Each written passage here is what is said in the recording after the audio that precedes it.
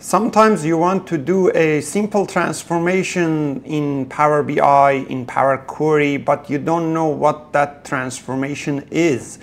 Uh, fortunately, we have this feature in Power Query, which is called column by example. It helps you to create the transformation based on the outcome you want without really knowing what the transformation is. I'm going to show you in this video how simple it is without writing any code. I'm Reza Rad from Radacad. Let's jump into this video.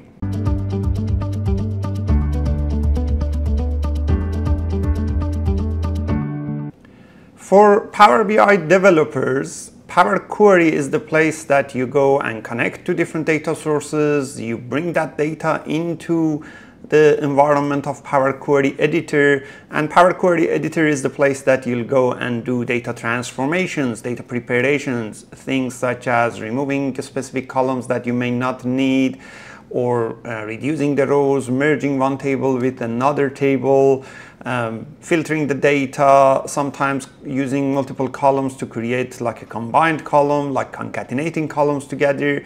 We call these actions data transformations. Data transformations in Power Query uh, exist to help us to prepare the data for the data model we have in Power BI so that later on we create relationships and write DAX calculations on the top and build the visualizations. Now data transformations options in Power Query are quite a lot. If you go to each tab of Power Query, you see a lot of data transformations options.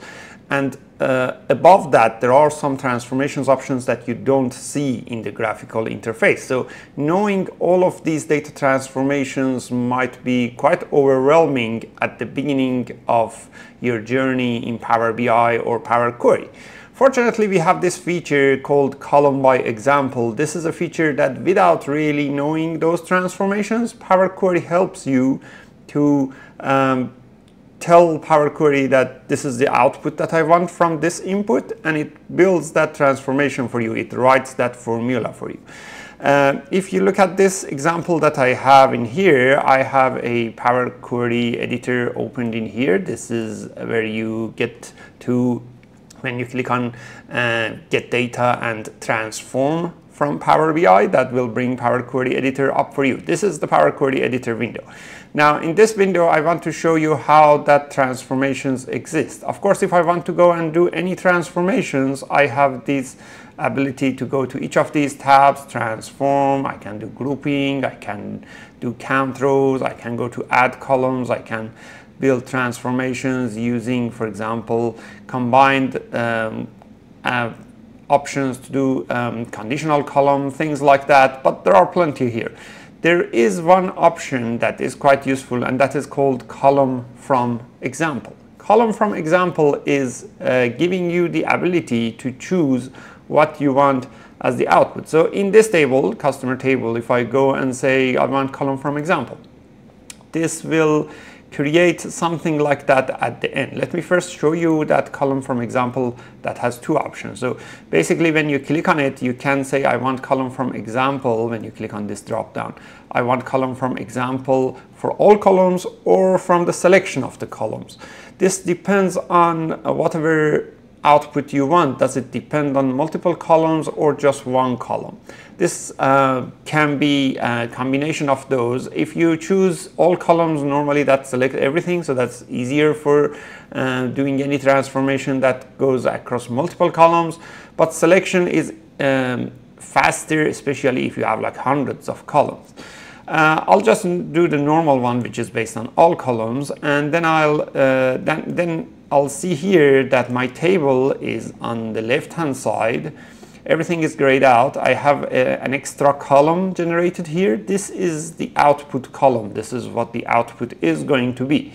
Now, based on this, I might choose what I want the outcome to be. For example, let's say I want to generate a full name. And the full name that I want to generate might be just first name concatenated with the last name in that case, I can go and double click in here and type in what I want as the output. I can say, well, this is John.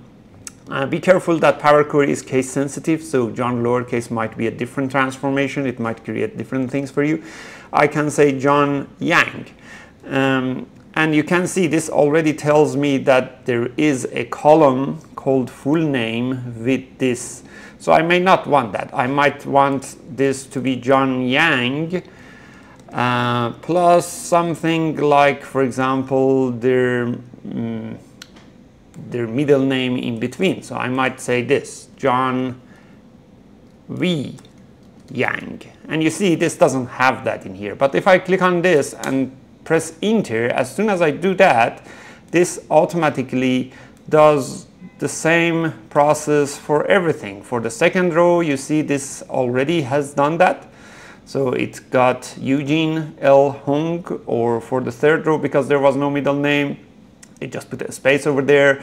It automatically created that. Not only this, it also created this transformation in the M formula. It tells me that uh, this, whatever you want to do, is actually combining text values from three columns, first name, middle name, last name, with a space in between it understood all of those based on just that value that I entered. Sometimes it is not uh, smart enough to understand it just based on what value, one value uh, or one row. You may need to enter like the second row or the third row and then it would get it. But it's a really powerful feature to have something like this. When you click on OK, as soon as you click on OK, this would be an actual column in your table now.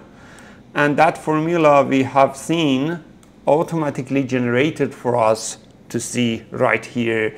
Very simple. This is helpful for tons of different things. Like for example, you may want to go to this like, uh, I think there's a birth date column in here if I can find it. Uh, birth date. This time I selected a column because I do have also other date fields. I would select a column. I say column from example from selection, right? Now let's assume in this one I want to find out the weekday that this uh, birthday happened. I'll just double click on this and this would give me a lot of options here that what are all the variations I can get out of this selected columns. In this case it's a date column so I can get all different things from it. I can get uh, the age, I can get uh, the day of birthday, I can get day of the week, I can get like end of the week date, start of the week date, and I can get, get day of week name, which is exactly what I want.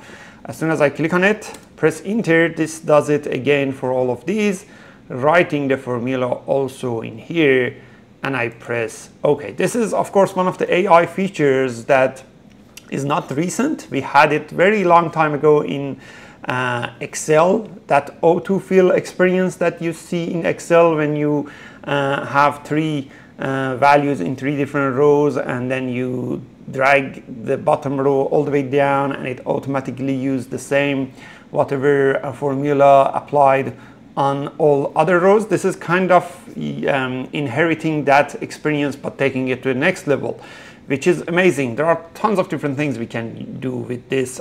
Ju I just showed you a few of these. For example, we might want to say, well, I just want to get, for example, the first three letters of the full name, right? I can go and select this and I can say column from example, from selection, and then I can say, well, the first three letter, which is in this case, John. Uh, now, in this case, as you can see, it thought that what I'm trying to get is not the first three letter, it is actually uh, everything before the space. So that is what the formula got to me, right? So everything before a space. But what I wanted was only the first three letters. So what I'll do is for the second row, I'll just enter this. And now you can see that this now, this time got what I mean uh, and it automatically applied it for the rest of these using this transform uh, which is text.start full name and three characters at the beginning of it. When I click on OK, it automatically generates that. Of course, if I want to do something like this, I can always come here, select this, I'll go to add column, and I'll say extract first characters, and I say first three characters. That gives me exactly the same thing that I have done here. And you see it is also the same transformations.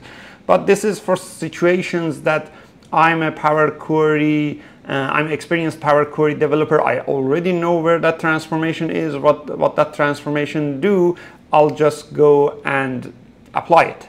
In a lot of scenarios, you don't know that transformation. So this column from example is a really big help to, uh, to help you in finding that. And there is no performance issues or anything related to it uh, with it because uh, it is just generating that transformation behind the scene. If you have tons of columns, like if you have 500 columns, 600 columns, then I suggest column from example to be by selection. So you go select columns first, and then you go and do column by, from example.